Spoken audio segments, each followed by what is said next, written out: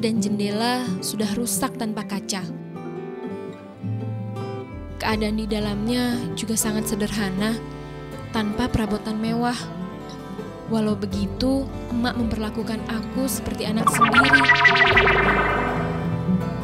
Pintu dan jendela sudah rusak tanpa kaca.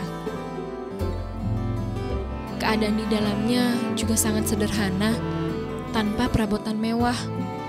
Walau begitu, emak memperlakukan aku seperti anak sendiri, membuatku merasa disayang dan betah tinggal di rumah ini. Ya, mak, jangan. Uh, teliti banget. Pindah, pindah. jadi ininya pecah. Maaf ya, mak. Aku nggak hati-hati.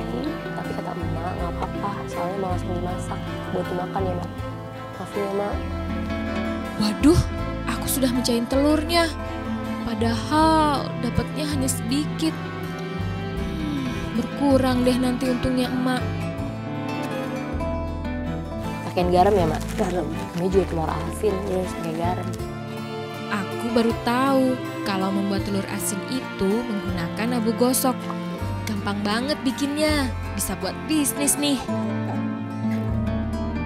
Airnya dikit-dikit aja supaya abu nggak terlalu becek. Cukup sampai membuat abu menggumpal menempel di telur.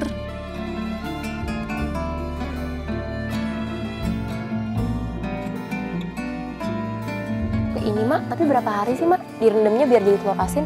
Lima wirten. lima hari ya ampun padahal telurnya nggak terlalu banyak tapi untuk telur segini emak butuh waktu lima hari supaya bisa jadi duit Sebenarnya telur ini bisa langsung dijual, tapi harganya akan jauh lebih mahal kalau sudah jadi telur asin.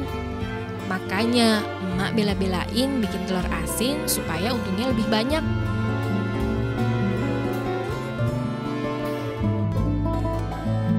Abis bikin telur asin, emak ngajak aku cari gadung untuk camilan aku di rumah.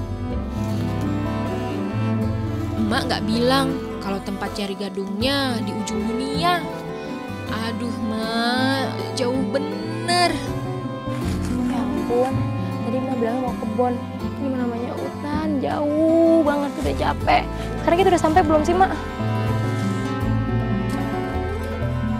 Ternyata ini yang kayak pohon gadung pohon gadung bentuknya banyak durinya nggak tahu dalamnya kayak apa apanya yang mau dimasak juga nggak tahu Pertama-tama dicangkul dulu tanahnya, mencari buah gadung yang tertanam di dalamnya.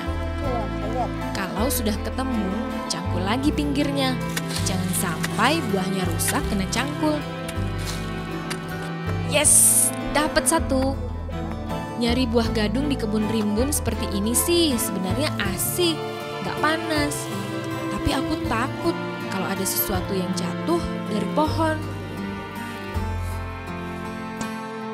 Kayaknya ada yang jatuh deh ke pundakku. Emang ada yang jatuh ya.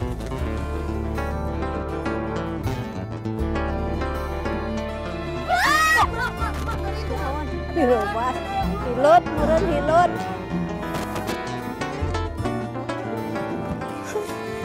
Mana?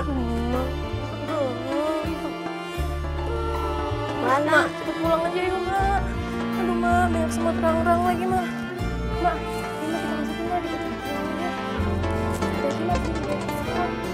Duh, pengen buru-buru pulang nih. tangannya gatel gatel banget mak kok tangannya gatel ya mak bukan ini kena getah ini bisa bikin tangan gatal Heeh. Mama itu kok aku kok tangannya gatel ya mak gatel banget intan. Wah, emak nggak bilang sebelumnya kalau buah gadung ini beracun. Aduh, emak, emak. Saking udah biasa, jadi udah kebal tuh tangannya.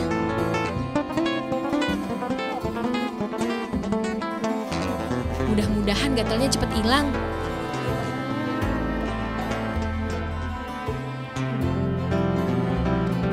Tangan belum juga sembuh dari gatal, tapi masih harus mengolah buah ini. Tahan, tahan. mak ini kan tadi kan mau bilang beracun kalau nu iya beracun nanti kalau misalnya kita makan yang makan rumah oh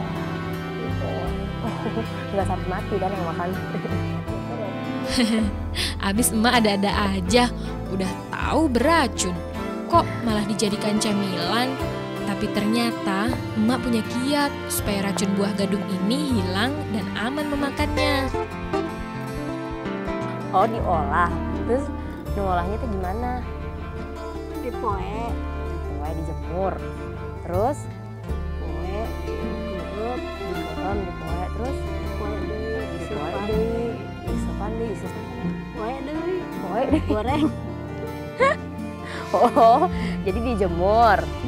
Terus direndam air dijemur direndam air lagi. Iya. Dijemur lagi baru digoreng Kalau nggak pinter-pinter ngolah kayak emak, orang yang memakan akan keracunan, seperti muntah-muntah dan pusing. Serem ya. mak untuk ngobatin gatalnya pakai apa nih mak? Minyak pakai minyak. Eh, ada minyak goreng apa minyak tanah? Minyak kelapa. Minyak kelapa. Minyak goreng berarti ya